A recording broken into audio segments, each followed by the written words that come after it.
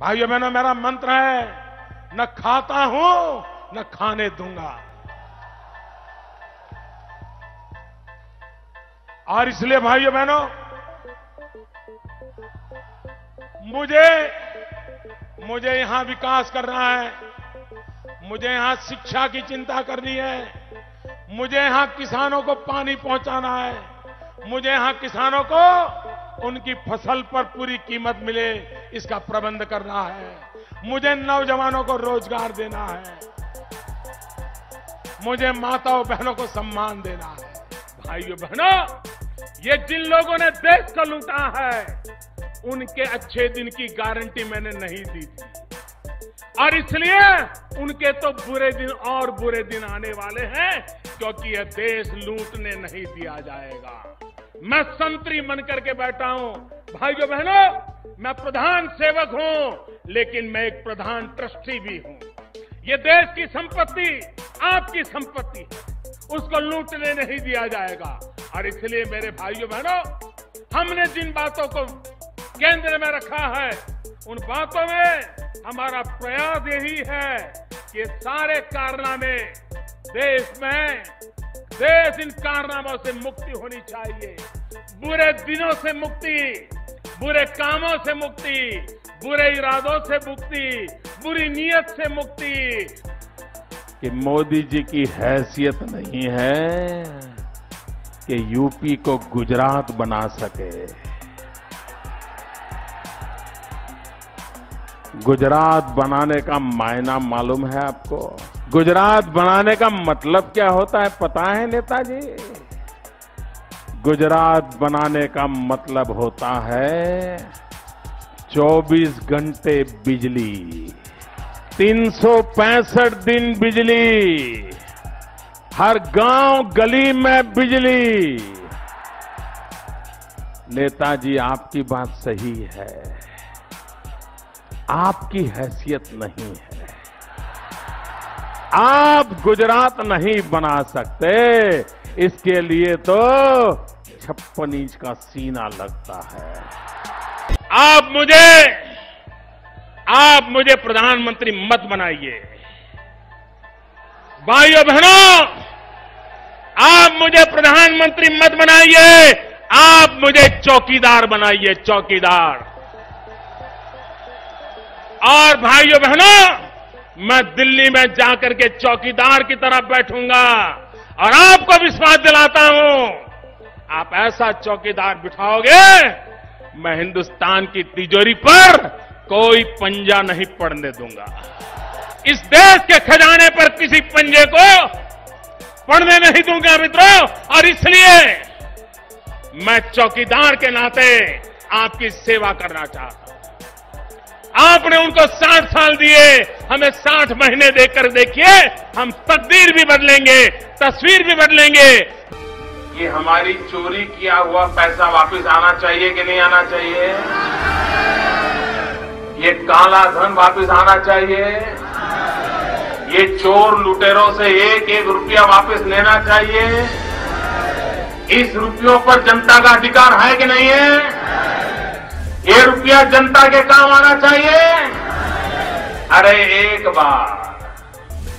ये जो चोर लुटेरों के पैसे विदेशी बैंकों में जमा है ना, उतने भी हम रुपये ले आए ना तो भी हिंदुस्तान के एक एक गरीब आदमी को मुफ़्त में पंद्रह बीस लाख रुपए ही मिल जाएगा। इतने रुपये। काला धन वापिस आ जाए, जहाँ चाहो वहाँ रेलवे कर सकते मेरे देशवासियों, मेरे घर परिवार सब कुछ देश के लिए छोड़ा। मैं लड़ाई लड़ रहा हूँ आपके लिए। भाइयों बहनों, ज़्यादा से ज़्यादा ये मेरा क्या कर लेंगे भाई? नहीं बताइए क्या कर लेंगे? अरे हम तो फकीर आदमी है, झोला लेके चल पड़ेंगे जी। और भाइयों बहनों, ये फकीरी है जिसने मुझे गरीबों के लिए लड़ने की ताकत दी है भाई। बैंकों का राष्ट्रीयकरण हुआ था, गरीबों के नाम पे हुआ था, लेकिन इस देश के आधे से अधिक लोग थे जिन गरीबों को कभी बैंक के दरवाजे तक जाने का मौका नहीं मिला। जब मैंने कहा, मैं सबसे पहले गरीबों का बैंक में खाता खुलवाऊँगा, मैं पहले सबसे पहले गरीबों के लिए बैंक में खाता खुलवाऊँगा तो लोग मेरी मज़ाक उड़ा रहे थे। भाइयों बहनों, खाता खुलवाया कि नहीं खुलवाया? खुलवाया कि नहीं खुलवाया? मैंने सिर्फ़ देश से 50 दिन मांगे हैं 50 दिन। 30 दिसंबर तक मुझे मौका दीजिए मेरे भाइयों बहनों। अगर 30 दिसंबर के बाद कोई मेरी कमी रह जाए, कोई मेरी गलती निकल जाए, कोई मेरा गलत इरादा निकल जाए, आप जिस चौराहे में मुझे खड़ा करेंगे मैं खड़ा होकर के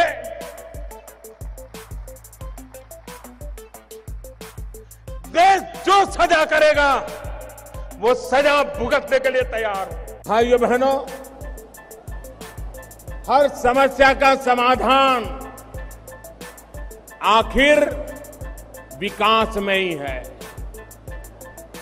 पहले ऐसी सरकारें आके गई जिनको विकास से नफरत जैसा माहौल था। उनके लिए सरकारी तिजोरी चुनाव जीतने के कार्यक्रमों में तबाह हो जाती थी। हमारी कोशिश ये है कि विकास के वो बातें साकार हो, ताकि गरीब से गरीब की ज़िंदगी में बदलाव लाने का अवसर तैयार हो। हमारे गरीबों का सशक्तिकरण हो। भाइयों, बहनों, गरीबी क्या होती है?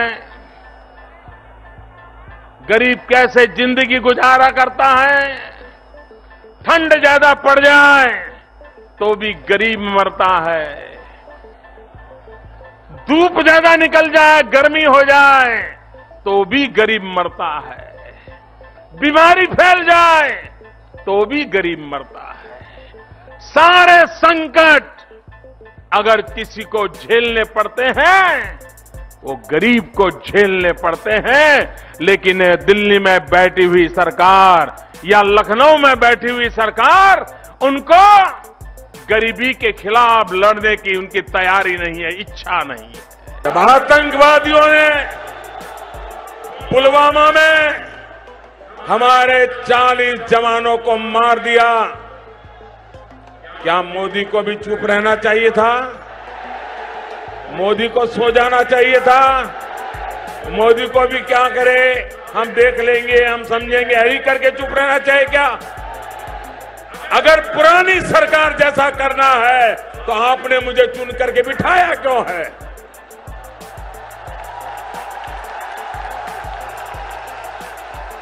मैं उनके जैसा करूँ आपको मंजूर है? उन्होंने जो किया, मैं करूँ मंजूर है? मुझे देश की अपेक्षा के अनुसार काम करना चाहिए कि नहीं करना चाहिए।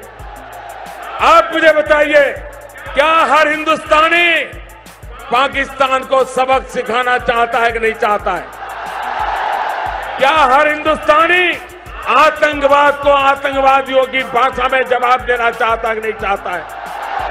क्या आतंकवाद को उखाड़ फेंक देना चाहिए, नहीं फेंकना देना चाहिए? क्या इसके लिए मोदी ने हिम्मत से आगे बढ़ना चाहिए, नहीं बढ़ना चाहिए? वक्त बदल चुका है। ये आपका चौकीदार चौकन्ना है। बिचौलियों और भ्रष्टाचारियों की। ये सारी बिचौलिया कल्चर को उस पर लगाम लगाई जा रही है। अब सरकार और कामगार के बीच सीधा संवाद हो रहा है। योजनाओं का सीधा लाभ आपके बैंक खाते में जमा हो रहा है।